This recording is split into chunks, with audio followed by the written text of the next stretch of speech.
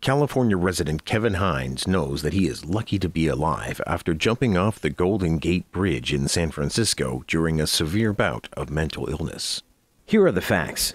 On September 25th, 2000, due to bipolar disorder and serious psychosis, I jumped off the Golden Gate Bridge.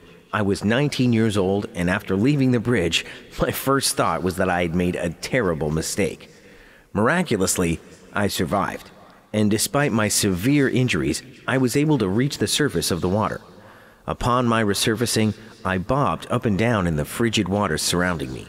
Then something brushed against my legs. I feared it was a shark coming to devour me whole. I tried to punch it, thinking it might bite me. However, this marine animal just circled beneath me, bumping me up. A passerby, who saw that the animal in question was a sea lion, quickly called for help.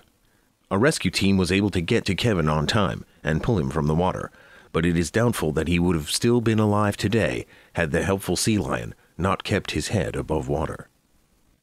Don't forget to subscribe for more uplifting stories and everyday wonders.